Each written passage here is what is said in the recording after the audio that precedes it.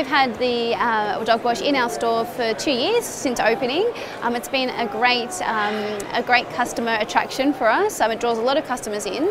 Um, we've seen a lot of growth over the past two years. Customers just love it. They feel that it's a very safe environment to wash their dog in, and it's also um, an easy, um, an easy way to wash your dog. and you save making all the mess at home. You can just come to the store, do it there, and leave it there. We often have customers that bring in their children. They make an event out of it, so it's a really great add-on to your store. So we've also found that um, whilst the customers are washing um, the dogs, if our staff members are free, they are able to go in and talk with the customer and it builds a, um, a fantastic rapport um, with our customers. So that is definitely a positive to having the dog wash in our store. It's very easy to maintain um, if we have our staff members each night clean out the dog wash. It only takes a few minutes. it's easy to sanitise after each uh, use as well. It's something that the customer can do, just a quick rinse.